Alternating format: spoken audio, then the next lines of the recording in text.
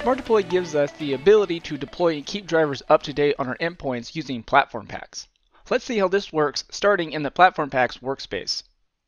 Any platform pack created or maintained by us has a version number. SmartDeploy uses this version number, comparing it to the version of the pack currently in my downloaded library to see if the version is newer. If there's an update available, you'll see an icon next to the platform pack letting you know that there's an update. I can right click any pack and select Update to download the latest version. Let's switch over to the computer management workspace to look at my user device's information.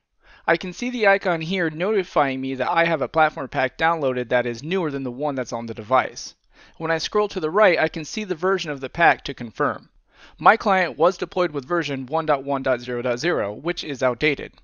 Also note, if you install the SmartDeploy client on an endpoint that wasn't deployed with SmartDeploy, then that version will be blank and SmartDeploy will treat it as an older version and prompt you to deploy the latest drivers.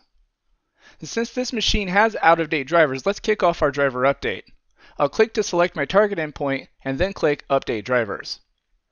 The console will give me the option to allow the end user to defer updates. Depending on the driver that needs updating, it's possible that a restart will be required.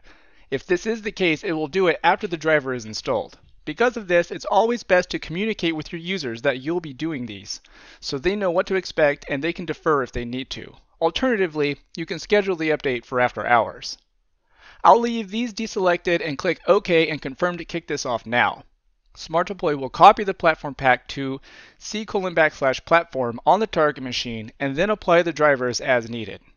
We'll see the icon change to the clock icon as the driver update will start the next time the SmartDeploy client checks in, which is about every 90 seconds. This is a pretty small driver pack being a virtual machine, so it'll complete quickly. When it's done, we'll be able to scroll to the right and verify that the platform pack version has been updated. And that's all there is to it. SmartDeploy makes it really easy to update drivers on your devices without having to touch them yourself. So, on to the next video.